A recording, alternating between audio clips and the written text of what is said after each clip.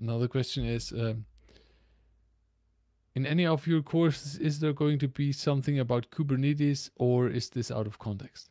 So kubernetes in general uh, i don't think it's out of context.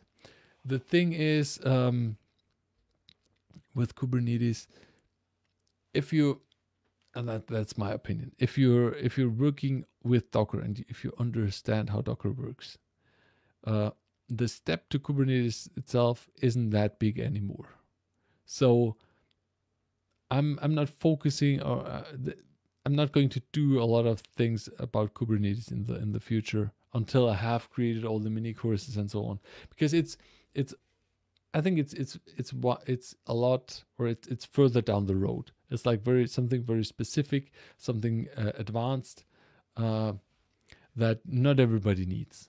Like everybody needs Kubernetes for for building a platform.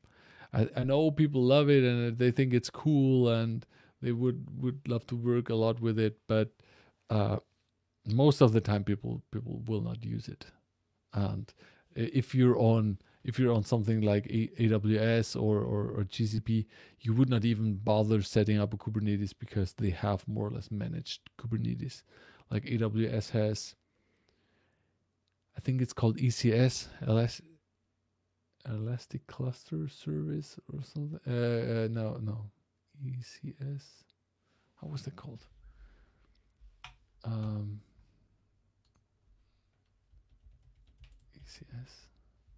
Ah, uh, Elastic Container Service, of course.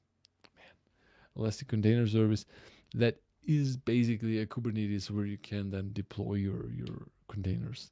Uh, so I'm I'm not going to I'm not going to focus uh, on Kubernetes uh, soon down the road.